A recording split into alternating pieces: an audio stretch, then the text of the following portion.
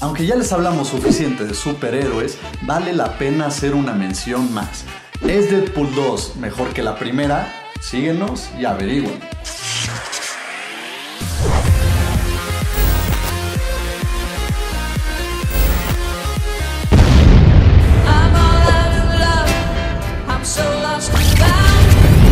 ¿Qué tal? Buenos días, buenas tardes o buenas noches a la hora que sintonicen esta señal de youtube.com que se llama Mikey Juan Maman Movies. No te presenté, yo soy Juan. Y yo soy Mike. Exacto, perdón, que no vales. Fuimos, como dijiste, a ver la película de Deadpool 2. Antes de entrar en detallitos, la sinopsis, Mikey, ¿de qué se trata?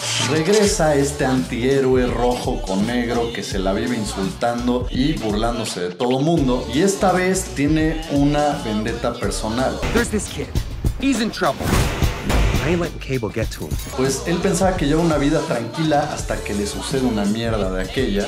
Y él tiene que reclutar a un grupo de superhéroes y un civilian por ahí We're gonna form a super duper fucking group. Peter, I, I just saw the ad. You're in. Para enfrentar a este enemigo que viene del futuro llamado Cable. Eso en esencia, sin spoilers y sin mucho de hablar de esta historia, es Deadpool 2.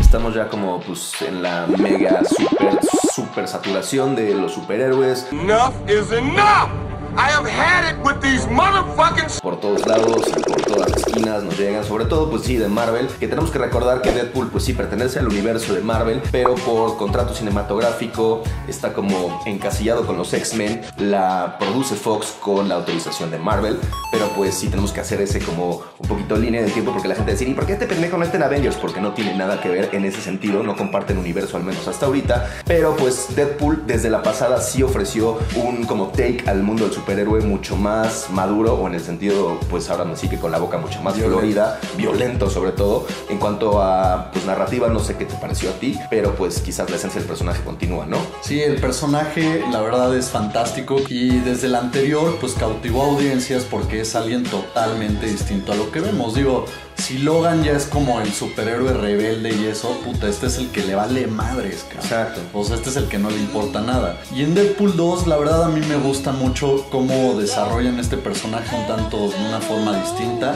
Eh, vemos unos tonos también un poco más serios, además de pues todo lo, la mofada que se echa so dark. You sure you're not from the DC universe? sobre los X-Men, sobre la vida y todo. Solo la historia sí la encontré un poco débil. Sí, quizás es un personaje que es distinto a los demás porque está como muy self-aware del mundo en el que está metido. O sea, como que entiende perfecto que pertenece a ese universo ficticio de superhéroes y le habla mucho a la audiencia, ¿no? Rompe mucho la cuarta pared para comunicarse mucho con el público. What in the actual ass? Dale, why, why, why are the visual effects not done? It's a metal arm. It's not like we're trying to remove a mustache. que es algo que pues hace muchísimo para pues tanto explicar datos del personaje o la historia como para burlarse en sí mismo de todo lo que es este rollo de superhéroes.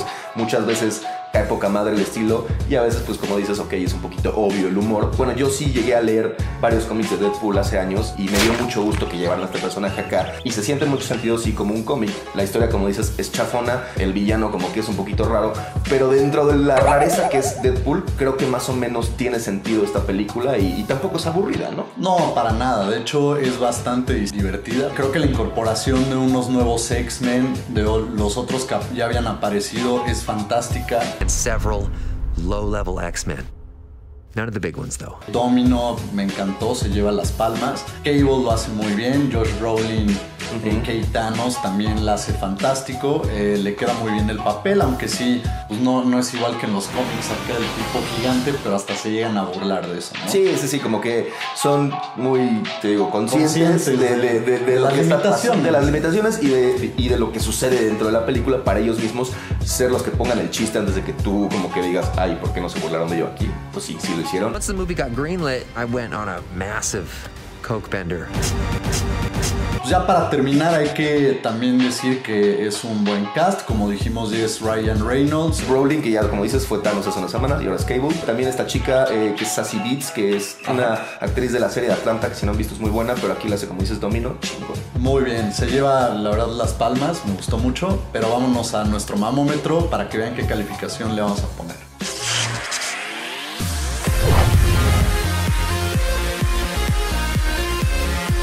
Maggie comienza rápidamente a decirnos qué te pareció.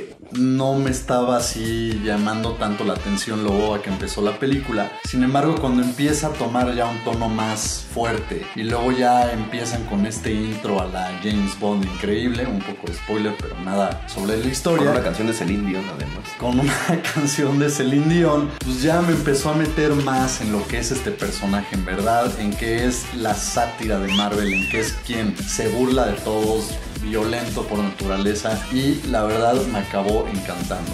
Por eso le voy a dar un 8.8.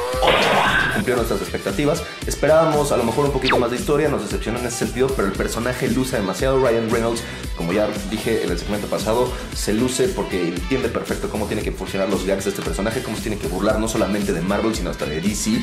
Tell me they got that in slow motion. Y de todo este rollo sobre saturación de superhéroes que entendemos muchos que sí, ya estamos hasta la madre, pero pues carajo, pues dejen de hacer buenas historias, señores superhéroes. es, ¿no? Es lo que es, estamos viviendo en esta era y pues no nos queda más que mamarla.